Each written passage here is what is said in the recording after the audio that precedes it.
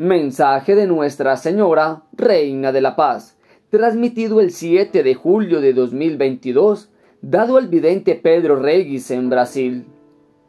Queridos hijos, mi Jesús os ama y espera mucho de vosotros. Decid a todos que no he venido del cielo por diversión. Yo soy vuestra madre dolorosa y sufro por aquello que viene para vosotros abrid vuestros corazones a la luz del Señor, pues sólo así podréis comprender sus designios para vuestras vidas. Doblad vuestras rodillas en oración. Camináis hacia un futuro de un gran naufragio en la fe. Buscad fuerzas en la oración y en la Eucaristía. Muchos escogidos para defender la verdad abrazarán aquello que es falso y muchos de mis pobres hijos serán contaminados. Defender a Jesús y las enseñanzas del verdadero magisterio de su iglesia.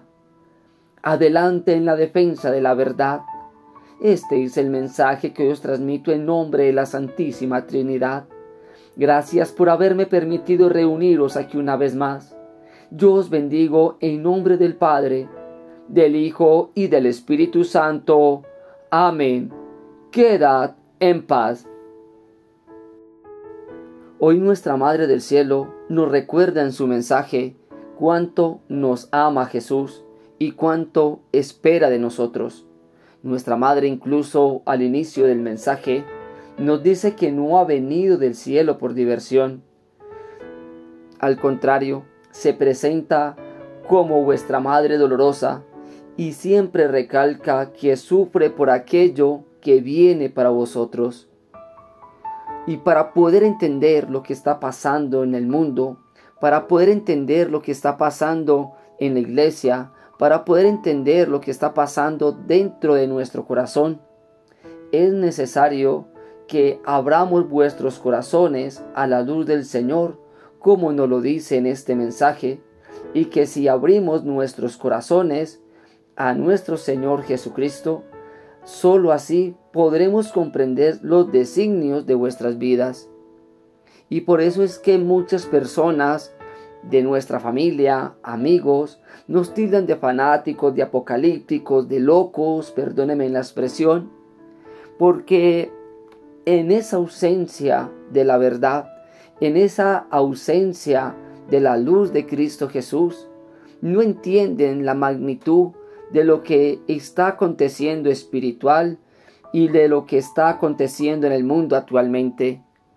Por eso siempre en los pedidos de nuestra Madre nos invita a estar nutridos con la Santa Eucaristía, nos invita a estar fortalecidos por medio del Santo Rosario, por medio del ayuno, de la oración, nos invita a colocarnos constantemente esa protección que regala la santidad que adquirimos al momento de confesar constantemente nuestros pecados. Así que realmente nuestra madre inicia este mensaje diciendo, es que no me he aparecido en muchos lugares por diversión. Estoy aquí por ustedes. Estoy aquí para que sus almas sean salvas. Estoy aquí motivándolos. Estoy aquí trayendo todos estos mensajes para que la humanidad no tenga que pasar por un sufrimiento muy grande. Así que debemos seguir en la escucha de lo que nos dice nuestra Madre y nuestro Señor Jesucristo. Debemos seguir caminando en la verdad debemos seguir orando y no desviarnos del camino, porque al final nuestro Señor Jesucristo triunfará y podremos gozar de las promesas que se nos vienen dando constantemente por medio de los mensajes, por medio de la palabra de Dios. Estamos en un tiempo donde muchos no perciben, no alcanzan a entender la magnitud de lo que está pasando. Muchas personas en el mundo, de manera silenciosa, vienen enfermándose. Las monedas más poderosas del mundo vienen teniendo alzas, teniendo crisis, y esto en muchos países ha generado que las monedas locales empiecen a perder valor. Y lo que no entienden es que los precios del vivir, eh, los precios de los alimentos, de la salud, del transporte, van incrementando gradualmente y quizás llegará el momento en que a muchos se les será difícil decidir en qué invertir el dinero, si en comida, si en salud, o quizás a muchos no les alcanzará para ambas cosas. Muchas personas se vienen enfermando, pero no con las que son publicadas, con las que son anunciadas, sino de manera muy silenciosa se ha venido aumentando el desarrollo de muchas patologías en muchas personas. Aquí en mi ciudad sigue la emergencia porque las clínicas mentales están 100% llenas. Las UCIs de los niños aquí en mi ciudad Medellín están al 100%.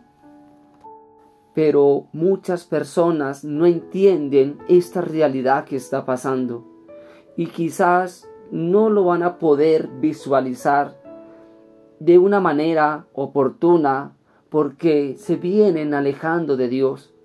Y si estamos alejados de la luz de Jesús, estos eventos no los podremos nosotros prever, no lo podremos nosotros ver, no podremos nosotros anticiparnos, preparar nuestras almas, preparar nuestras vidas, preparar nuestras familias, preparar nuestros hogares. Llegará quizás el momento, como lo dice nuestra madre, vendrán tiempos dolorosos, tiempos de sufrimiento, pero a muchos ese tiempo los tomará de sorpresa y será tarde. Será tarde para muchos. Así que no desprecie los mensajes del cielo. Nuestra Madre claramente hoy nos dice, no es una diversión, esto no es un juego, es una realidad.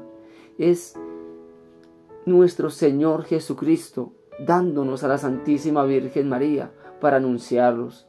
Y es nuestra Madre la que constantemente está allí intercediendo por nosotros, intercediendo por esta humanidad pecadora.